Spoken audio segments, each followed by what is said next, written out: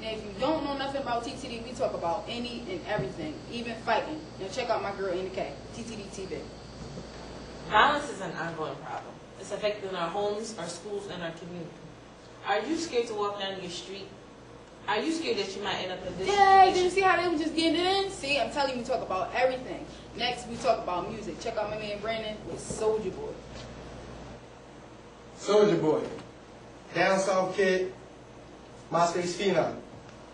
Yeah, he's been on every radio station and TV station you possibly can think about. He's also stole tons of records around the world. Yeah, I know we all got caught in this one.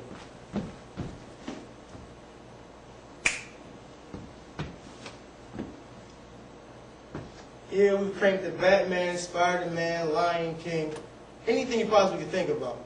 But have you ever took a step back and listened to the words that Soulja Boy is saying? Is he a positive influence on the children? Better yet, is he a positive influence on Christians? Can you listen to him on And Sunday? Soulja Boy still hot. He wanted to go pay him his first week, but he only sold thirty-five thousand.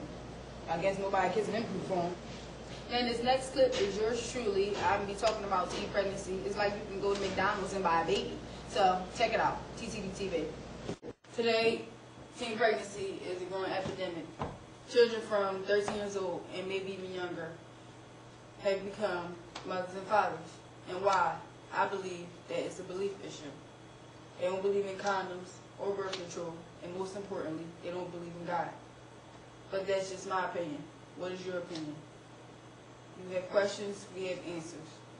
Come check us out at www.thosethatdream.com. All right, now in this next clip, we got Reverend Reek who's talking about God. He dummies it down for any and everybody. Anybody who listens to Tyreek about God, they can understand. I know I got God on my side, I'm rolling. I'm rolling him. God before us, be against us. And all the problems that we got in Philadelphia with the violence and this, that, and the other, I don't care. I really don't. I'm gonna go and I'm gonna do as I as I see fit. Because I know I'm walking in God's word because I'm in it. And, uh, and, and I got faith in what it says. If God for us, who can be against me? And even though, right, there's also some scriptures in the Bible talk about the uh, the armor of God. It says you got the breastplate, the helmet, and all this and all that. And for you know, some people might think that's corny, but if you really read about the armor of God, it protects your front. It don't say nothing about your back. So if I'm turning around running and scared, then it's like that's where my trouble's gonna come.